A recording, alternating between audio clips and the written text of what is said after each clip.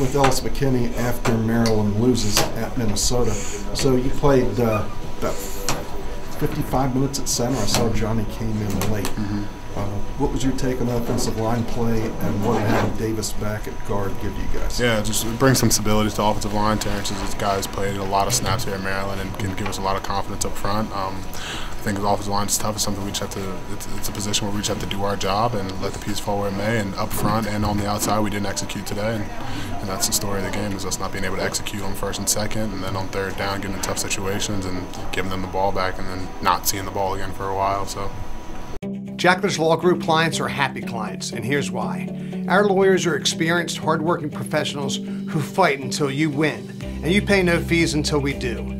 If you've been injured in a car, truck, or train crash, we meet you where you are and when you can. If you've been in a crash, don't wait. Call the big dogs now.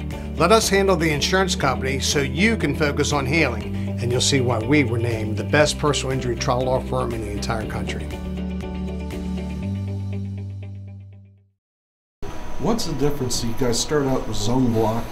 At some point, sort of come off and, and Mm-hmm. change that up. You better at the zone blocking, or a little more at the man-to-man area? That, that's based on based on play calling or based off uh, what they see up top. So it, it all depends on the looks we're getting. Maybe uh, they're a field under team, and so with that look, we'd like to run into it. We like to run zone into it, but then you can't run zone every play. You know, it doesn't really always doesn't work like that. So we had to switch it up with a couple gap scheme plays here and there.